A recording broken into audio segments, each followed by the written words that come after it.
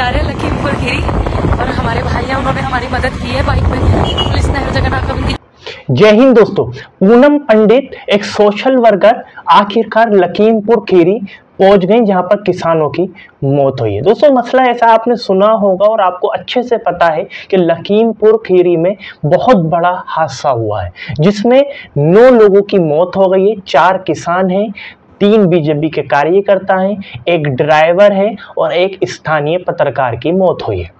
दोस्तों ये जो आरोप किसानों ने लगाया, ये अजय मिश्रा एक केंद्रीय राज्य मंत्री है, उसका बेटा आशीष मिश्रा, उसके ऊपर आरोप लगाया कि उसने किसानों को के ऊपर गाड़ी चढ़ा दी।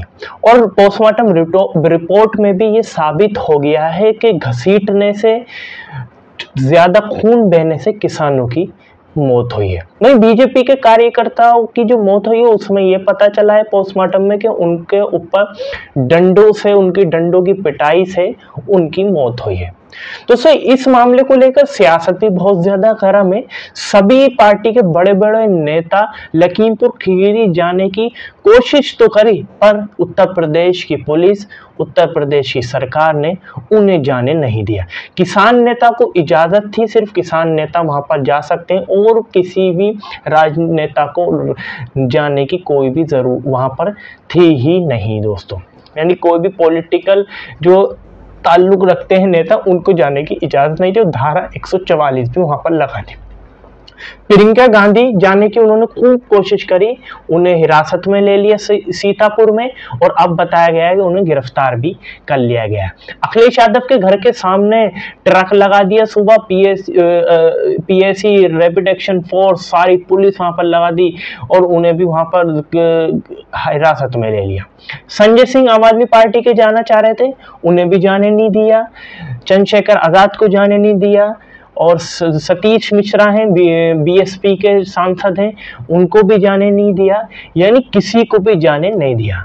पर आखिरकार पूनम पंडित तो सोशल वर्कर है, किसानों का मुद्दा जब से आंदोलन शुरू हुआ है, जब से बहुत काफ़ी सोशल मीडिया पर उठा रही हैं, मीडिया के बात करते हुए उठा रही हैं, आखिरकार वो चोरी चुपके और मतलब पुलिस को ना पता चल जाए, परिवार से किसानों से मिलने पहुँच गए। आप खुद ही वीडियो देखिए। राम जी देखिए, हम लोग बाइक पे जा रहे हैं, लखीमपुर खीरी और हमारे भाई हैं उन्होंने हमारी मदद की है बाइक में पुलिस ने हर जगह नाकाबंदी लगाई हुई है, लेकिन मैं इन भाई का नाम नहीं बताऊँगी, क्योंकि बहुत कम लोग होते हैं ऐसे, जो अपनी जान की ना परवाह करके हमारे जैसे लोगों की मदद करते हैं। हर टोल पे एक ऑटो वाले भाई भी थे, उन्होंने भी हमारी बहुत मदद की, बिल्कुल मेन हाईवे पे चल करके। और अब हम लोग पीलीभीत पार कर चुके हैं, और बाइक से गाड़ियाँ हमने छोड़ दी है। मेरे साथ में एक सरदार जी भी है, वो पीछे वो भी बहुत मदद कर रहे हैं हमारी। हमें पार करा रहे हैं नाकाबंदी जितनी पुलिस ने लगाई हुई है। हम लोग शांति से जा रहे हैं, उसके बाद भी रोका जा रहा। बहुत ज़्यादा प्रताड़ित करा जा रहा। इतनी इतनी पुलिस लगी हुई है। काश यो पुलिस वहाँ लगी होती जहाँ आठ लोग की शहादत हो गई किसानों के लिए। तो शायद ऐसा नहीं हो पाता। तो आप लोगों से अनुरोध है, बहुत सेफ्टी से आइएगा, शांति से आइएगा, क्योंकि हम लोग अपने लोगों से मिलने जा रहे हैं कुछ। वहाँ पर बवाल करने नहीं जा रहे हैं। उनका हिम्मत बढ़ाने के लिए जा रहे हैं। और हम लोग बाइक के रास्ते पे अभी मेरी गाड़ियाँ उधर की तरफ़ गई है, भाई को बोल दिया। बाकी धन्यवाद इन भाई का दिल से। और एक ऑटो वाले भाई थे उन्होंने ऑटो में पहचान लिया। बेचारे ने ऑटो निकाला निकाल करके मुझे बोला और बोलने लगा, बहन जी, आपके लिए तो जान भी देने के लिए तैयार है। अच्छा अच्छा। अरे, पूनम जी, यहाँ आए हुए लखीमपुर के गाँव में। बारह बज रहे हैं, लगभग बजने वाले हैं। आधी रात का समय है। इकलौता चिराग जो है, घर का, बुझ चुका है। क्या कहेंगे? कैसे आम आदमी जिएगा?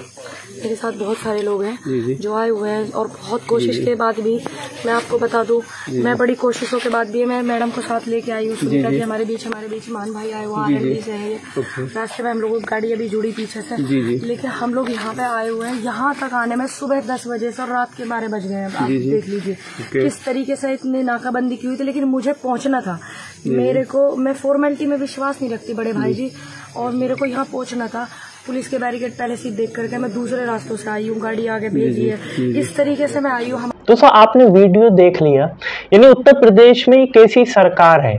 मतलब एक, कोई इंसान अगर किसान के परिवार से मिलने जा रहा है, उस किसान के परिवार से जिसकी आरोप लगा है कि बीजेपी का जो गृह राज्य मंत्री उसके बेटे ने किसानों को मार दिया उन किसानों के परिवार से मिलने जा रहा है, अगर कोई उनके आँसू पोसने जा रहा है तो उन्हें जाने नहीं दिया जा रहा है।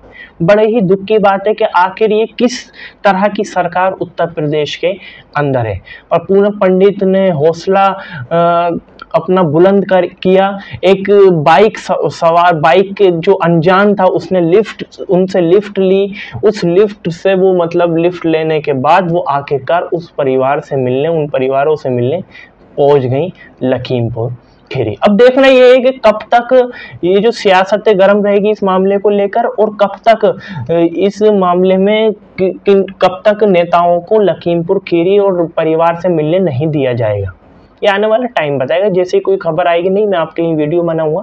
चलिए, आपकी क्या राय इस वीडियो को देखने के बाद? नीचे कमेंट बॉक्स में ज़रूर बताइए। इस वीडियो ज़्यादा से ज़्यादा शेयर करिए लाइक ज़रूर करिए। चैनल पर नए चैनल को ज़रूर सब्सक्राइब और बेलाइकन ज़रूर दबा दिए ताकि मैं जब भी नई वीडियो लेकर आऊँ तो आपको पता चल जाएगा। चलिए, इस वीडियो में इतना ही।